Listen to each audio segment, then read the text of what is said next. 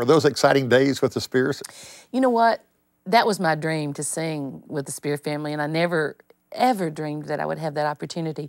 But so much of my life was formed in those times, musically um, and spiritually, because um, Ben really made, as much as I hated him for it at the time, he made a rhythm piano player out of me. Yeah. And now my musicians at my church will tell you that I'm a stickler for that, oh, Yeah. even now. But it was because he just kept pounding it in my Yeah. head. And then, you know, I was young and impressionable. And if I ever got hurt or had a tough day, it was Brock who would sit and read scripture to me or just hold me like a father and tell me everything's going to be all right.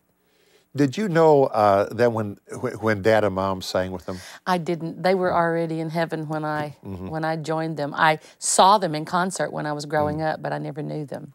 Boy, as a kid, uh, it, it seems if we had two people in our field who were just pure, and motives were, were as pure, and they seemed as innocent as they could be.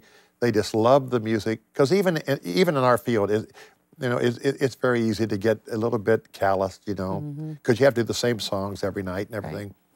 But it was not true with Dad and Mom. I mean, they, I mean, it was something they believed. You knew they believed it, and they loved it, and Yeah. uh, and it just came out.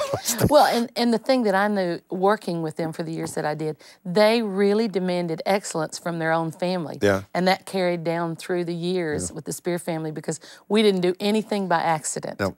We worked hard at and the parts we were all written out. Absolutely. and we you and you did it exactly like like the parts were because if you're going to harmonize and blend, Mm-hmm.